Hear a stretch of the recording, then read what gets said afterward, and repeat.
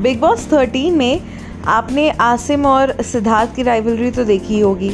लेकिन पारस और आसिम की भी एक ऐसी राइवलरी थी जो घर के बाहर तक कंटिन्यू थी। जी हाँ सिद्धार्थ और पारस दोनों ही आसिम के राइवल्स थे लेकिन डिफरेंस ये हो गया था कि आ, पारस के साथ जो आसिम की राइवलरी थी वो बहुत लंबी चली थी। यहाँ तक कि ये दोनों एक दूसरे को फॉलो तक नहीं करते थे सोशल मीडिया पर लेकिन अब देखिए किस तरीके से दोनों ने एक दूसरे को इंस्टाग्राम पर अभी हाल ही में कर लिया है फॉलो और इस बड़े बदलाव का कारण जानते हैं आप? जी हाँ उसका कारण है सिद्धार्थ शुक्ला। सिद्धार्थ शुक्ला जाते जाते सभी को ज़िंदगी का एक ऐसा पार्ट सिखा गए हैं कि आसिम और पारस जैसे राइवल्स भी एक हो गए हैं। अभी कुछ दिनों पहले ही आसिम का मज़ाक उड़ाने वाले पारस जो हैं उनके गाने का मज़ाक उड़ाने वाले पारस जो हैं वो आज आसिम को सपोर्ट करते हुए नज़र आ रहे हैं उनके नए गाने बिल्टन पेन के लिए।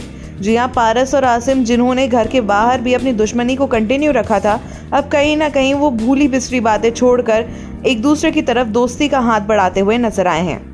आप आगे आने वाली क्लिप्स में देखेंगे कि किस तरीके से आसिम रियाज के सॉन्ग को यहाँ अली गौनी प्रमोट कर रहे हैं। अली आसिम के फ्रेंड हैं और इसलिए उन्होंने सॉन्ग को हर बार प्रमोट किया है उनके। इसके अलावा आसिम के भाई उमर रियाज ने भी सॉन्ग को प्रमोट किया है विच इज़ वेरी ऑब्वियस क्योंकि वो उनके भाई हैं। हमेशा करते आए हैं। लेकिन इसके बाद देखिए, पारस छाबरा ने किया है आसिम रियाज के सॉन्ग को प्रमोट जो इससे पहले नहीं हुआ और मैंने आपको बताया, जैसे पारस उससे पहले मज़ाक उड़ाते हुए भी नज़र आए थे। माहिरा शर्मा ने भी किया है सॉन्ग को प्रमोट यहाँ पे आसिम रियाज के। और आप लोग जानते हैं, माहिरा और पारस कितने क्लोज हैं। तो ओवरऑल मैं ये बताना चाह रही हूँ कि किस तरीके से लाइफ में कुछ ऐसे इंसिडेंट्स हो जाते हैं, जिसके बाद हम लोगों को रियलाइज़ होता है कि इस तरह की दुश्मनी किसी मतलब की नहीं है।